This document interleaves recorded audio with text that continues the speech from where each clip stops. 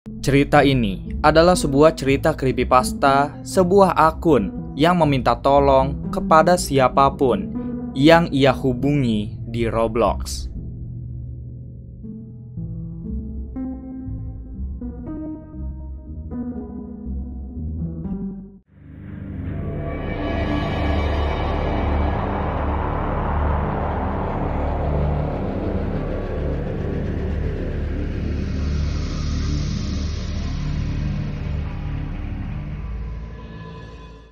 Oke, halo teman-teman Roblox dan Miminers. Karena hari ini adalah malam Jumat, inilah saatnya kita membahas creepypasta. Nah, creepypasta pada video kali ini, Mimin akan menceritakan dan membahas mengenai sebuah creepypasta akun Roblox yang meminta sebuah pertolongan. Tapi seperti biasa, Mimin mau berterima kasih kepada An Exa yang sudah merequest pembahasan pada video kali ini. Dan Mimin juga mau ingetin bahwa ini adalah sebuah cerita creepypasta yang di mana kebenaran cerita di dalam video ini masih dipertanyakan. Jadi, kalian boleh percaya, boleh juga tidak. Dan untuk kalian yang merasa takut atau tidak nyaman menonton video ini di malam hari, kalian boleh banget nonton video ini nanti di siang hari agar kalian bisa merasa nyaman pada saat menonton video ini sampai habis, oke? Okay? Daripada lama, yuk kita langsung aja masuk ke pembahasannya.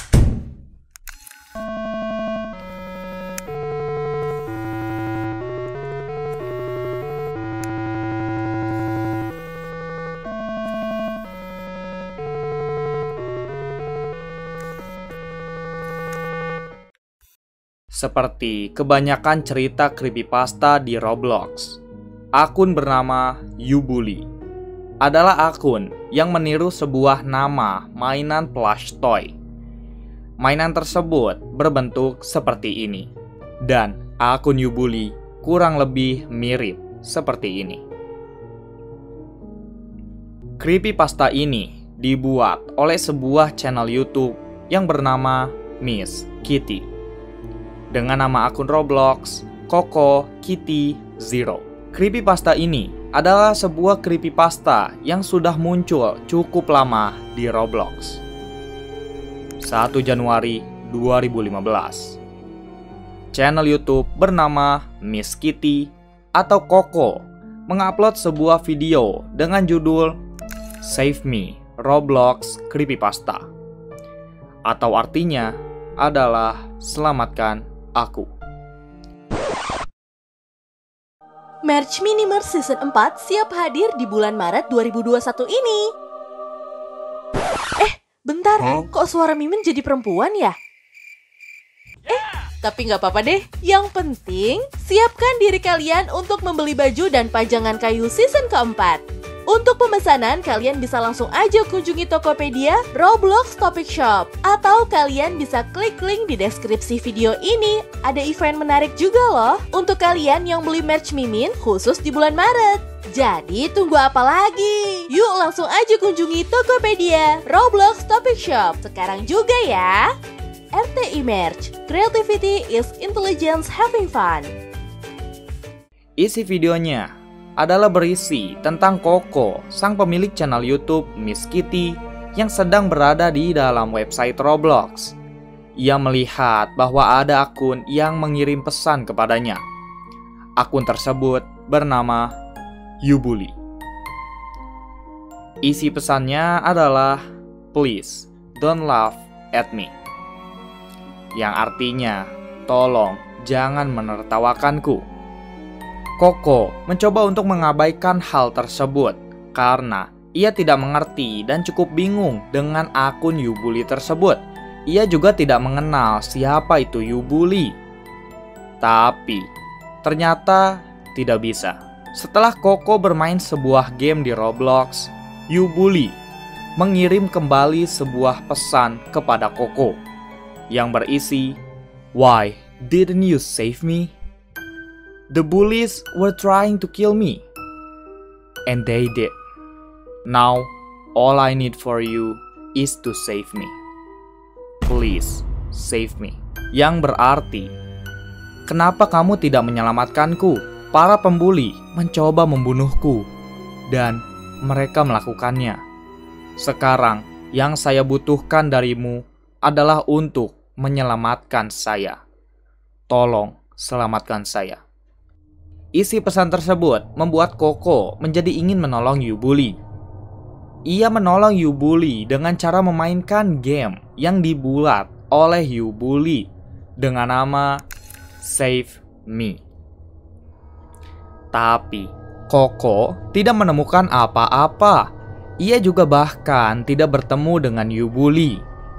Dan anehnya, Yubuli tiba-tiba kembali mengirimkan sebuah pesan yang berisi "Thanks for saving me", yang artinya "Terima kasih telah menyelamatkanku". Lalu, akun Koko yang bernama Koko Kitty Zero berubah sepenuhnya menjadi berwarna hitam. Dan akun Yubuli berubah menjadi karakter akun Koko.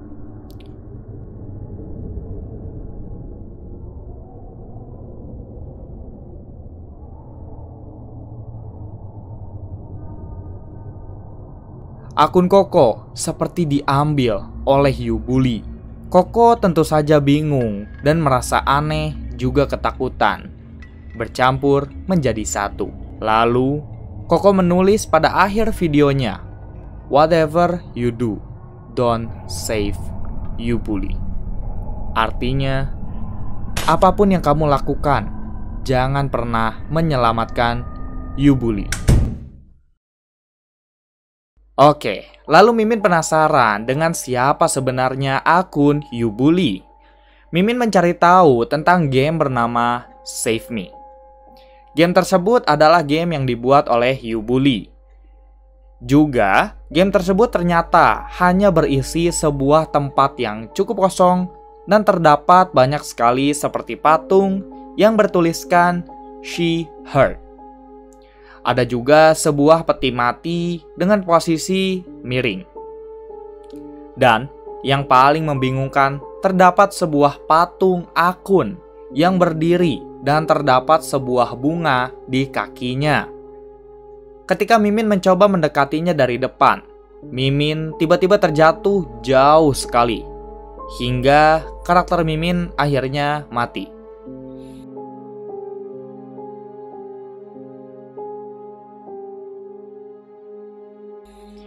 Tidak ada yang menjelaskan mengenai apa maksud dari game ini. Lalu, karena Mimin masih penasaran dengan akun Yubuli, Mimin masuk ke dalam website bernama Archive yang berisi profil Yubuli pada tahun 2015. Dan ia menulis seperti ini. Yang artinya, Koko Kitty, aku akan memburumu Mengapa kamu membocorkan rahasiaku? Mungkin maksud dari tulisan tersebut adalah video ini, yang di mana Koko Kitty menyebar luaskan tentang akun Yubuli. Lalu, Mimin mencoba untuk mencari akun Yubuli di Roblox, dan ternyata akun tersebut masih ada. Ia bahkan masih sempat online dua minggu yang lalu. Berarti akun Yubuli masih aktif. Tapi, ada yang berubah dengan karakternya. Ia terlihat seperti akan berubah menjadi berwarna hitam. Karena kalian bisa lihat dari wajahnya dan di bagian tangannya yang sudah mulai berubah menjadi warna hitam. Karena sebelumnya, karakter Yubuli sepenuhnya berwarna merah jambu. Oh ya, kalian juga bisa lihat ada sebuah sandi yang ia tuliskan di deskripsinya. Setelah Mimin telusuri, sandi tersebut berarti Stop, I'm sick of this. Dan ya, tulisan itu juga masih belum memberikan sebuah arti yang jelas. Cerita creepypasta Yubuli cukup membingungkan karena kurangnya informasi dan penjelasan dari creepypasta aneh ini. Tapi yang pasti, hati-hati jika ada yang meminta pertolongan di dalam Roblox.